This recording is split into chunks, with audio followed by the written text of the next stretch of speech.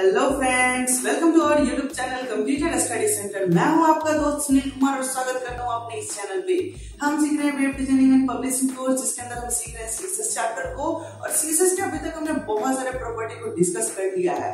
आज का जो हमारा टॉपिक होने वाला है, वो होगा टेक्स्ट डेकोरेशन बट इसके अलावा भी हमने बहुत सारे टेक्स्ट को ऊपर अप्लाई करने वाले सीएसएस प्रॉपर्टी को देखा है, जैसे कि टेक्स्ट को कलर करना टेक्स्ट को अलाइनमेंट सेट करना एंड टेक्स्ट को ट्रांसफॉर्म करना। ये तीन प्रॉपर्टी हमने ऑलरेडी डिस्कस किए हुए हैं और आज हम सीखेंगे टेक्स्ट के ऊपर और भी कुछ एक्स्ट्रा डेकोरेशन करना। अब डेकोरेशन में हम क्या क्या कर सकते हैं? तो यहाँ पे हम टेक्स्ट के नीचे अंडरलाइन कर सकते हैं टेक्स्ट के ऊपर ओवरलाइन कर सकते हैं एंड टेक्स्ट के ऊपर थ्रो कर सकते हैं। इवन कोई ऐसा टेक्स्ट है जो कि ऑलरेडी डेकोरेटेड है तो हम उनके डेकोरेशन को अगर हटाना चाहते हैं तो हटा सकते हैं और अपने अकॉर्डिंग कोई नया डेकोरेशन सेट करना चाहते हैं तो हम नया भी सेट कर सकते हैं। तो आज का जो हमारा क्लास होने वाला है, बहुत ही इंपॉर्टेंट होने वाला है, क्योंकि हम टेक्स्ट के ऊपर मैनिपुलेशन करने वाले हैं। टेक्स्ट के colour background colour that means shadow हम अपने टेक्स्ट में सैडो लगाना भी आज के इस क्लास में सीखेंगे।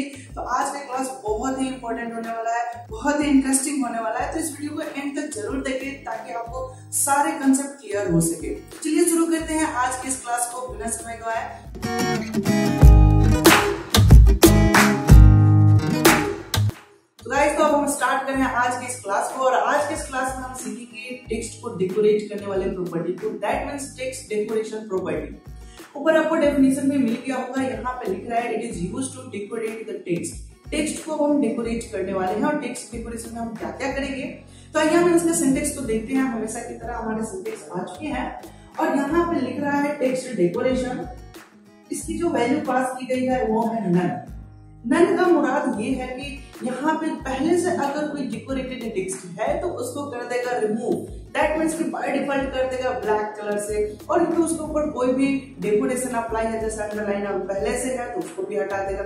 जितने भी डेकोरेशन वाली चीज़ें पहले से अप्लाई किया हुआ है तो सबको रिमूव कर देगा. अगले अगर वैल्यूज़ की देखें तो अगला वैल्यूज़ हमारा लिखा हुआ है ओवरलाइन उसके बाद लिखा हुआ है अंडरलाइन एंड उसके बाद लिखा हुआ है लाइन थ्रू इनके मतलब क्या है? तो आइए हम एक एक करके समझते हैं.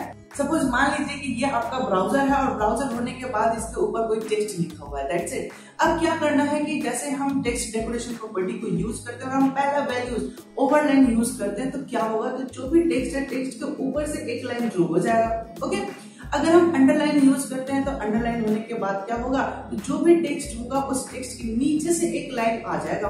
अगर लाइन थ्रो की बात करें तो लाइन थ्रो का मतलब होता है स्ट्राइक थ्रो जो कि आप वर्ड एक्सेल में भी यूज़ करते हैं तो वहाँ पे क्या होता है कि जो भी सिलेक्टेड टेक्स्ट होता है, उसकी मिडिल से वन लाइन ड्रो हो जाता है। तो जैसे कि यहाँ पे आप सब कुछ देख रहे हैं सेम टू सेम ऐसे ही होने वाला है ओके तो इन सब का यूज़ हम कर सकते हैं अपने टेक्स्ट को डेकोरेट करने के लिए, एक अच्छा सा लुक एंड फील देने के लिए ओके एक लास्ट ऑप्शन है, हमारे पास लास्ट जो प्रॉपर्टी है, वो है टेक्स्ट सैडो प्रॉपर्टी ये टेक्स्ट डेकोरेशन प्रॉपर्टी नहीं है, ये सैडो प्रॉपर्टी है ओके अब सैडो प्रॉपर्टी क्या करेगा? तो टेक्स्ट के बैकग्राउंड में एक एज इट इज़ उसका कॉपी बनाएगा और उस कॉपी को बनाने के बाद उसके थीम को, उसके कलर को चेंज करेगा, उसके आउटलाइन को, उसको ब्लरनेस को, इन सारी चीज़ों को वो चेंज करेगा। अगर आप यहाँ पे इसके पूरे के पूरे सिंटेक्स को देखेंगे तो यहाँ पे लिखा हुआ है एच सैडो मतलब कि horizontally shadow v shadow v shadow means होता है वर्टिकल सैडो एंड उसके बाद है ब्लर और ब्लर के बाद है कलर यानी कि आपको यहाँ पे न्यूमेरिकल वैल्यूज़ देने होंगे, और न्यूमेरिकल वैल्यूज़ में क्या क्या पास करना है तो आपको हॉरिजेंटली कितना शिफ्ट करना है वर्टिकली कितना शिफ्ट करना है एंड उसका कलर क्या हो, उसका ब्लरनेस कितना हो तो ये सारे अमाउंट आपको नंबर में डिजिट में देने होंगे। इनको और हम बेहतर समझ सकते हैं। बेहतर समझने के लिए इनका हम करेंगे प्रैक्टिकल और प्रैक्टिकल करने के लिए हम चलते हैं सबलम टेक्स्ट टीचर पे। सो so गाइस तो अब हम अपने टेक्स्ट एडिटर पे आ चुके हैं, जो कि राइट साइड में है और लेफ़्ट साइड में उसका ब्राउज़र का आउटपुट आ रहा है ओके तो यहाँ पे हम देख सकते हैं कि लास्ट क्लास में हमने पैराग्राफ यूज़ किया था और पैराग्राफ में हमने अलाइनमेंट ऑप्शन को देखा था, जिसमें हमने left centre right and justify को भी हमने समझा था। ओके okay, अभी तक हमने जितने भी सीएसएस प्रॉपर्टी पढ़े हैं उनका सारा का सारा हमने लास्ट क्लास में एक इंट्रोडक्शन देख लिया। एक हमने ब्रीफली रिवीजन कर लिया था जिसमें हमने बताया था कि टेक्स्ट ट्रांसफॉर्म पढ़े हैं अलाइन प्रॉपर्टी को पढ़े हैं कलर प्रॉपर्टी को पढ़े हैं एंड लास्ट क्लास में हमने टेक्स्ट अलाइन प्रॉपर्टी को पढ़े हैं ओके और आज का जो हमारा डिस्कशन होने वाला है आज के इस क्लास में और आज के इस क्लास में जो हम पढ़ने वाले हैं वो है हमारा टेक्स्ट डेकोरेशन प्रॉपर्टी अब देखो, मैं इसलिए इसको पीछे ही वाले क्लास में लेके चल रहा हूँ बिकॉज़ कि आपको ये कंफ्यूजन ना हो कि हम हर बार नए नए टैग्स यूज़ करेंगे, नए नए सेलेक्टर्स यूज़ करेंगे। नहीं, ऐसा नहीं होता। आप एक ही सिलेक्टर के ऊपर मल्टीपल सेसेस प्रॉपर्टी अप्लाई कर सकते हो, कोई दिक्कत नहीं है। आप जितना चाहो उतना डेकोरेशन अप्लाई कर सकते हो, जो चाहो वो डेकोरेशन अप्लाई कर सकते हो। इसी वजह से मैं एक ही फ़ाइल पे बार बार रिपीटेशन कर रहा हूँ। इसलिए आप कंफ्यूज मत होना। अगर हमारे लास्ट क्लास को नहीं देखे हो तो लास्ट क्लास को देखोगे तो ये सारी बातें आपको समझ में आ जाएगी। यहाँ पे मेरा पैराग्राफ लिखा हुआ और एक मेरा हेडिंग लिखा हुआ है और इन हेडिंग एंड पैराग्राफ के ऊपर हम सी प्रॉपर्टी को अप्लाई करके देख रहे हैं ओके तो आज हम जो अप्लाई करने वाले हैं, वो हम टेक्स्ट डेकोरेशन प्रॉपर्टी को अप्लाई करेंगे। तो चलिए हम यहाँ पे अप्लाई करते हैं हेड सेक्शन के अंदर ओके हेड सेक्शन जो मेरा हेडिंग है, वो लिखा हुआ है कंप्यूटर स्टडी सेंटर जो कि सेंटर अलाइनमेंट में है और कैपिटलाइज केस में है। कैपिटलाइज केस का मतलब होता है, हर वर्ड का फ़र्स्ट लेटर कैपिटल एंड इसका जो कलर है, वो क्या है? रेड है। तो ये हमने तीन प्रॉपर्टी अप्लाई किए हुए हैं और आज हम इसके ऊपर चौथा प्रॉपर्टी अप्लाई कर रहे हैं, जो कि है टेक्स्ट डेकोरेशन ओके मैं यहाँ से चूज़ भी कर सकता हूँ या फिर आप टाइप भी कर सकते हो। यहाँ पे मुझे मिल गया टेक्स्ट डेकोरेशन मैंने यहाँ पे ले लिया। अब यहाँ पे क्या क्या अप्लाई करना है? तो जैसे हमने समझा था ओवरलाइन अंडरलाइन ओके तो मैं यहाँ से सबसे पहले ओवरलाइन को यूज़ करके दिखाऊँगा। ये मैंने ओवरलाइन लिख लिया और मैंने इस फ़ाइल को किया सेव सेव करने के साथ ही हम अपने ब्राउज़र को करेंगे रिफ्रेश। और जैसे ही मैंने इस पेज को रिफ्रेश किया, आप यहाँ पर नोटिस कर सकते हैं। यहाँ पे एक लाइन एपियर हो चुका है, जो भी हमारा हेडिंग है, उस हेडिंग के टॉप साइड पे ओके अगर मैं अंडरलाइन यूज़ करूँ। अच्छा मैं एक चीज़ को आपको मैं समझाऊं, मैं हर बार समझाता हूँ कि एक सेम प्रॉपर्टी को आप मल्टीपल्स टाइम ना लिखें ओके और अगर लिख देंगे तो क्या होगा?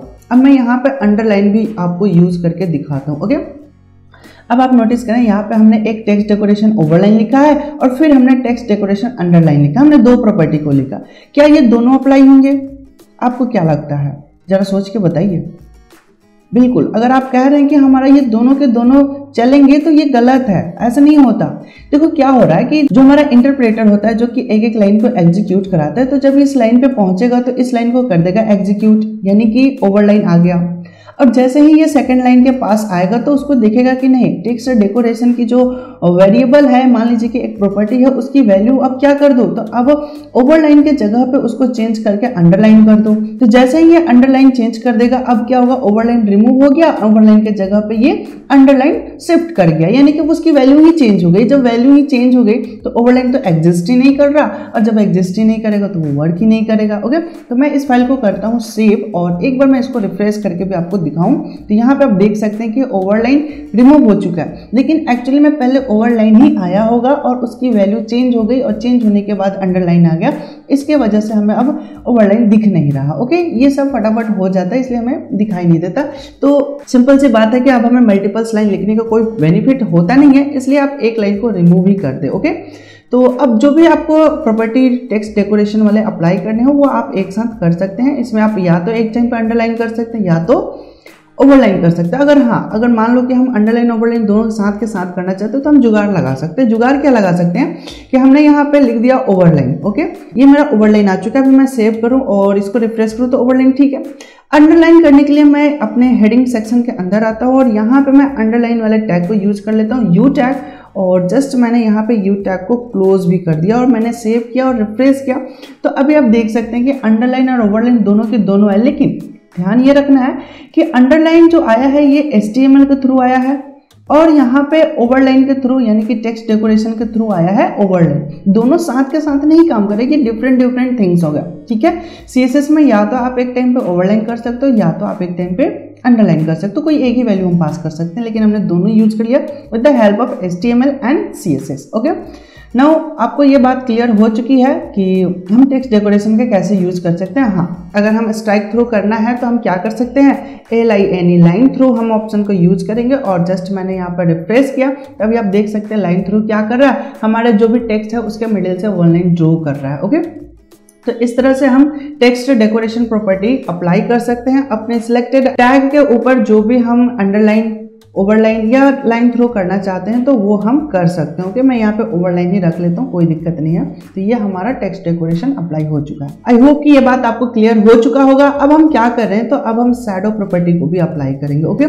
तो सैडो प्रॉपर्टी अप्लाई करते हैं तो ऐसा करते हैं कि हमने यहाँ पे एंटर बटन प्रेस किया और मैं यहाँ पे सैडो लिखूँगा। लेकिन उससे पहले हम थोड़ा सा इसके बारे में समझ लेते हैं कि सैडो एक्चुअली है क्या। सपोज़ मान लीजिए कि एक हमने टेक्स्ट लिखा, मैं एक साइड में इधर ब्राउज़र पे लिखता हूँ, एक टेक्स्ट मैं लिख रहा हूँ। सपोज़ मैंने यहाँ पे लिखा ए ठीक है? ये मेरा ए लिखा हुआ है, ओके? मैंने थोड़ा सा मोटे में लिख लिया ताकि आपको क्लियर हो सके। तो ये हमारा लिखा हुआ है ए और मैं इसको क्या कर रहा हूँ कि इसके पीछे मैं एक सैडो लगाऊँगा, ओके? और सैडो लगाने के लिए मैं क्या करता हूँ कि थोड़ा सा मैं कलर चेंज कर लेता हूँ। और सपोज़ मान लीजिए कि एक और यहाँ पे ए लिखा हुआ है, एक पीछे ए लिखा हुआ है, जिसका आधा पार्ट हमें दिख रहा है और आधा पार्ट हमें नहीं दिख रहा है ओके तो ये हमारा एक दूसरा ए लिखा हुआ है, जो कि रीड वाले ए के जस्ट पीछे है। आई होप कि आपको क्लियर हो रहा होगा। थोड़ा मैं बैकग्राउंड में ए बनाया हूँ तो क्लियर हो रहा होगा कि ये जो मेरा ब्लू जो कलर वाला जो आपको दिख रहा है, ये हमारा बैकग्राउंड वाला ए है। तो ये हमें क्या करना है कि जस्ट इसका जीरोक्स बनाना है। दैट मीन्स कि टू कॉपी बनाना है। साइडो मीन्स होता ही है कि उसका एक परछाई एक उसका डुप्लीकेट और डुप्लीकेट का मतलब कि जस्ट उसके बैकग्राउंड में हो। अब क्या है कि हम इसमें जो वैल्यूज़ पास करते हैं, एक होता है एच सैडो दूसरा होता है वी सैडो एच सैडो और वी सैडो का मतलब क्या होता है कि जो मेरा ये ओरिजिनल टेक्स्ट है ए अब इसके लेफ़्ट साइड कितने पिक्सल हमें शिफ्ट करना है और टॉप साइड हमने कितने पिक्सल सेट करना है तो वो हमें बताना होता है हॉरिजेंटली एंड वर्टिकली तो हमें कितना पिक्सल शिफ्ट करना है। देखो, जब अगर एक के जस्ट पीछे दूसरा रहेगा तो हमें तो शैडो दिखाई ही नहीं देगा ना। तो थोड़ा सा हम शिफ्ट करेंगे, तभी जाके हमें वो दिखाई देता है शैडो दिखाई देगा। अदरवाइज़ हमें शैडो दिखाई ही नहीं देगा। ओके तो चलिए हम इसको अप्लाई करते हैं। अप्लाई करेंगे तो और भी आप बेहतर इसको समझ सकते हैं। तो मैंने यहाँ पर लिखा टेक्स्ट और हाइफन सैडो हमने टेक्स्ट सैडो प्रॉपर्टी को अप्लाई करेंगे। सबसे पहले हमें देना होता है हॉरिजेंटल या हम हॉरिजेंटली कितना शिफ्ट करना चाहते हैं ओके तो सपोज़ हमने टू पिक्सल हॉरिजेंटली शिफ्ट कर लिया। वर्टिकल कितना शिफ्ट करना है? तो टू पिक्सल हम वर्टिकली भी शिफ्ट कर लेते हैं। हॉरिजेंटल का मतलब राइट right साइड की तरफ़ वर्टिकल का मतलब टॉप साइड की तरफ़ ओके और हम इसमें ब्लर देंगे तो ब्लर कितना पिक्सल करना है? सपोज़ हमने यहाँ पे थ्री पिक्सल ब्लर भी कर लेते हैं ओके अब आती है बारी कलर की कि हम कौन सा कलर देना चाहते हैं, जो बैकग्राउंड में हम टेक्स्ट बना रहे हैं सैडो बना रहे हैं सैडो का कलर क्या होना चाहिए? तो सैडो का कलर मैं सिंपल ग्रे कलर रख लेता हूँ ओके कोई दिक्कत नहीं आनी चाहिए आई होप तो हमने यहाँ पे ग्रे कलर दे दिया और यहाँ पे हॉरिजेंटल वर्टिकल एंड ब्लर की वैल्यूज़ पास कर दी। मैंने सेव किया और जस्ट मैंने यहाँ से रिफ्रेश किया। तो अभी आप नोटिस कर सकते हैं कि यहाँ पे जितने भी टेक्स्ट लिखे हुए हेडिंग्स दिए हुए हैं, उन सारे हेडिंग्स का क्या हो चुका है? तो सैडो अप्लाई हो चुका है ओके अगर मैं थोड़ी देर क्या करूँ कि इस ब्लर जो मैंने किया इसको मैं ज़ीरो पिक्सल कर देता हूँ और जस्ट मैं यहाँ पे सेव करता हूँ यू कैन नोटिस हेयर यहाँ पे जो बैकग्राउंड में जो दिख रहा है, वो बिल्कुल स्पष्ट दिख रहा है। मैं थोड़ा सा जूम भी करूँ आपको दिखाने के लिए। तो देखिए जो बैक बैकग्राउंड में सी जो बैकग्राउंड में ग्रे कलर का लिखा हुआ है, बिल्कुल स्पष्ट दिख रहा है ओके लेकिन स्पष्ट दिख रहा है तो थोड़ा सा अजीब सा लग रहा है, इसलिए हमें ब्लर करना होता है। ब्लर करने से क्या होता है कि सैडो की तरह दिखता है। थोड़ा सा उसकी जो ओपोसिटी होती है, वो भी थोड़ा सा डाउन हो जाता है और ये बिल्कुल लगता ही है कि एक सैडो है और जो हमारा ओरिजिनल टेक्स्ट है, वो ऊपर उठा हुआ दिखाई देता है ओके अगर मैं यहाँ पे रेड कलर के जगह पे ब्लू कलर पास करूँ तो देखो कैसा इफ़ेक्ट आ रहा है। मैंने यहाँ पे जस्ट सेव किया। तो अभी आप देख सकते हैं कि ये जो ब्लू कलर वाला है और पीछे बैकग्राउंड में ब्लैक कलर का थोड़ा सा ग्रे कलर का सैडो लगा हुआ है तो बिल्कुल बहुत ही अच्छा सा कॉम्बिनेशन बन रहा है ओके तो आप जो भी कलर सेट करना चाहते हैं कर, कर सकते हैं। मैं फिर से इसको रेड कर देता हूँ ओके okay?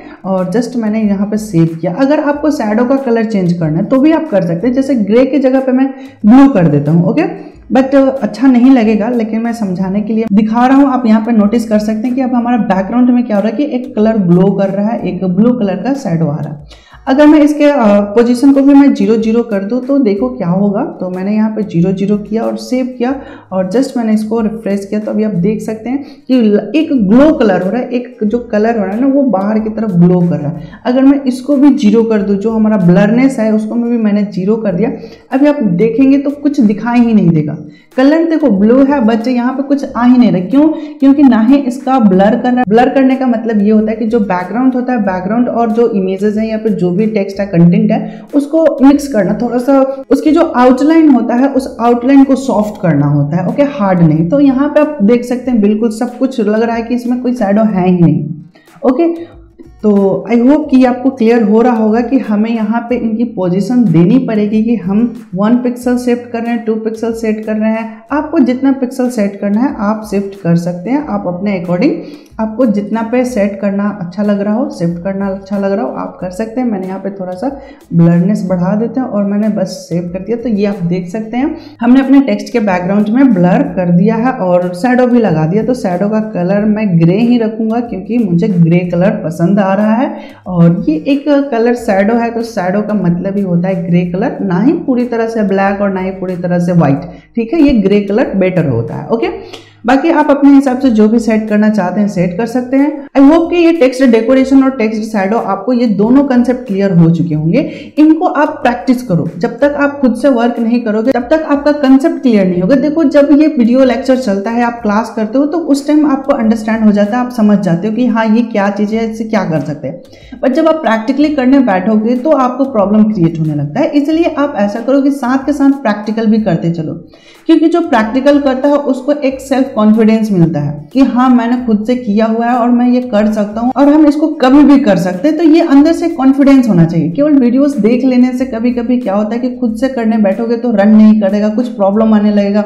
सपोज़ मान लो कि हमने नंबर के तो लिख दिए बट हमने यहाँ से पिक्सल देना भूल गए। तो अगर हम सबकी पिक्सल हटा देते हैं तो देखो आउटपुट आएगा ही नहीं। अगर मैं सबको यहाँ पे टू टू कर देता हूँ ताकि दिखाई दे तो यहाँ पे अभी मैं सेव करूँ और यहाँ पर रिफ्रेश करूँ तो देखो इसका जो है वो रिमूव हो चुका। है तो कभी कभी स्टूडेंट ये सारी गलतियाँ कर देते हैं, लेकिन जब वो क्लास देखते हैं वीडियोस देखते हैं तो उनको लगता है कि हम सब समझ गए। लेकिन प्रैक्टिकल ना करने की वजह से छोटी मोटी गलतियाँ हो जाती है, जिसके कारण आउटपुट सही नहीं आता। इसलिए मैं मैं ये रिकमेंड करूँगा कि आप ज़्यादा से ज़्यादा प्रैक्टिस करो, अपने कॉन्सेप्ट को क्लियर रखो। कॉन्सेप्ट क्लियर रहेगा तो आप सारे काम को बड़े आसानी से सॉल्व आप किसी भी प्रॉब्लम को बड़े ही इजिली तरीके से सॉल्व कर सकते हो। ओके गाइस तो आज की इस क्लास में हमने क्या क्या सीखा? तो आज की इस क्लास में हमने सीखा कि टेक्स्ट के ऊपर लाइन करना हो तो कैसे कर सकते हैं टेक्स्ट के नीचे लाइन करना हो तो कैसे कर सकते हैं। इवन हम टेक्स्ट के बीचों बीच लाइन ड्रॉ करना चाहते हैं तो कैसे कर सकते हैं? और हम शैडो लगाना भी आज की इस क्लास में हमने सीखा। और मुझे उम्मीद है कि आज की ये क्लास आपको बेहद पसंद आया होगा। तो एक लाइक ज़रूर करें ताकि मेरा मोटिवेशन बने रहे और मैं और भी अच्छे अच्छे कंटेंट आपके लिए लेकर आता रहूँ। ओके और भी हम टेक्स्ट डेकोरेशन से रिलेटेड और भी हम क्लासेस लेकर आएँगे, जिसमें हम टेक्स्ट की कलर चेंज करना टेक्स्ट की साइज़ चेंज करना बोल्ड करना इटैलिक करना, इन तमाम टॉपिक के ऊपर हम सीसेस प्रॉपर्टी के बारे में आपको बताएँगे और साथ के साथ हम और भी बहुत अच्छे अच्छे डेकोरेशन के बारे में बताएँगे टेक्स्ट के बैकग्राउंड को कलर करना हो, हम अपने वेबसाइट के बैकग्राउंड में अगर कोई चीज़ सेट करना चाहते हैं तो कैसे सेट कर सकते हैं? तो हमारे साथ हम जुड़े रहे, हम धीरे धीरे करके बहुत सारे सक्सेस प्रॉपर्टी को दिखाने वाले हैं और इसमें बहुत ही आनंद आने वाला है। तो मेरे साथ जुड़ने के लिए आप हमारे इस चैनल को सब्सक्राइब करके बेल आइकन प्रेस कर लें ताकि जब भी कोई इस टाइप की वीडियोस अपलोड हो नोटिफिकेशन आपको सबसे पहले मिले। और हो सके तो इस वीडियो लिंक को अपने दोस्तों के साथ भी शेयर करें ताकि वो भी फ्री में एक अच्छा वेब डिज़ाइनर बन सके सॉफ्टवेयर कंपनी में वर्क कर सके। Thanks for watching this video and take care